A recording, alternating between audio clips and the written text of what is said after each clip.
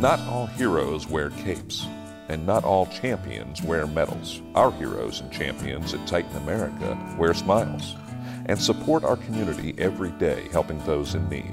They're involved in local organizations such as Relay for Life, Juvenile Diabetes, and Habitat for Humanity. Titan America is proud to stand by our employees, our heroes. Concrete is our business, but people are our passion. Titan America.